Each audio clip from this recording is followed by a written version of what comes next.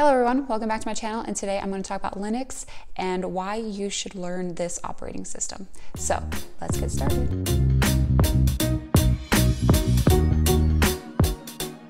All right, so I just wanted to kind of address the Linux operating system because this is something that um, I've gotten a couple questions about, and uh, people asking, well, not only what it is, but also uh, is it useful in any way as a computer engineering student? Um, will we be using this Linux environment or Linux operating system? The short answer to that is no.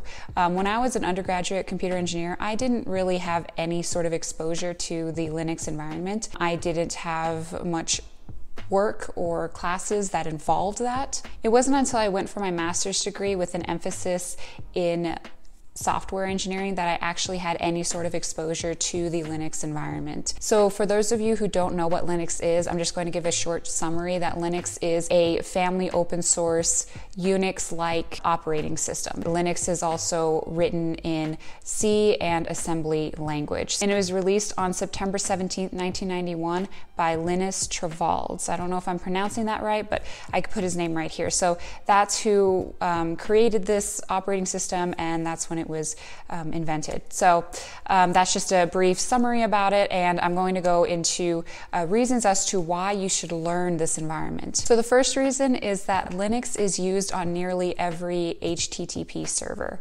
So a lot of these servers, a lot of HTTP servers are built upon this Linux software system. And because of that, having that ability to learn Linux and know what it's all about will just make it that much easier to navigate around the um, servers and their software systems. So if you want to understand and work with servers, then you'll want to learn Linux. The next thing is that Linux is basically a standard development environment. And what I mean by that is that way back when before there was Windows or Mac, it was just Unix-like operating systems, which is similar to Linux.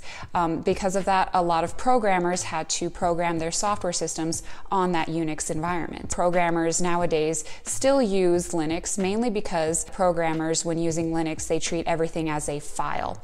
And um, it just makes everything easier and simpler to use and to navigate around. So the next reason is the powerful native terminal and shell. When you log into the Linux environment, you can run um, system commands, you can edit files, go to different directories, you can do everything you need to do and modify on the software in that one window. So that's why I say it's very, very powerful. There's also a long list of different commands you could do to modify multiple files or change the names of multiple files on one line of um, command. For example, I wanted to change a word in like 20 files from cap to FY21, but there was 20 files. I didn't want to have to go through each one and just change that. But there is a command in Linux that you could use. It's called sed, S-E-D, and then you do a dash I, and then you just give it the word that you want to look for and replace, and then you replace it with the word that you're going to replace it with. So I just have the cap,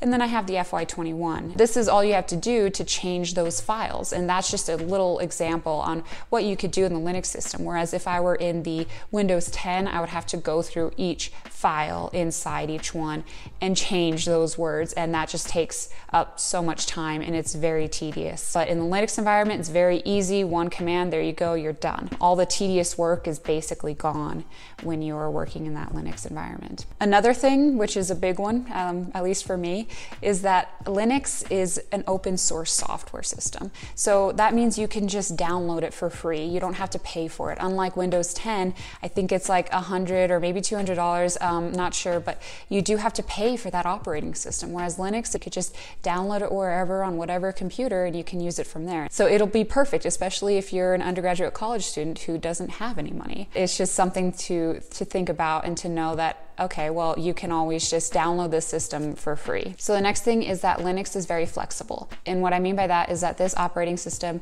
can be downloaded and installed on other operating systems. So for example, um, if I'm on a Windows 10 and I wanted to use the Linux interface. All I have to do is go online and I can download that operating system as a virtual machine or just enable it through my Windows 10 um, settings. Also, I could just add it as an extension an application that you know has that Linux distribution within it and then run that application. The next thing is that Linux doesn't limit the user's control to the critical system. So if you have a Linux operating system, then that means you basically have access to the entire computer um, and all of its functions. I do know that you know Windows 10, their operating system, they have limits on what the user can do and modify with the system settings. Of course, you don't want to um, edit something or delete something in the uh, operating system and then have it crash on you and, and it just stops working.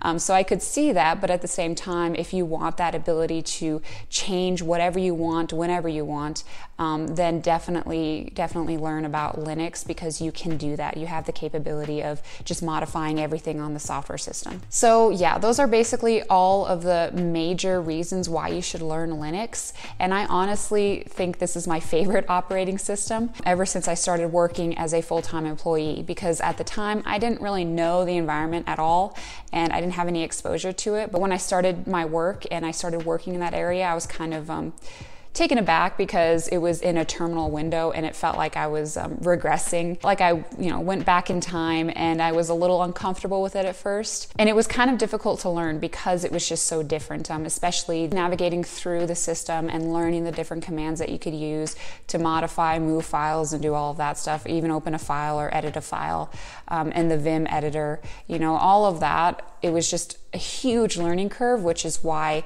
it was really difficult at, at first, and I kind of was reluctant to learn it.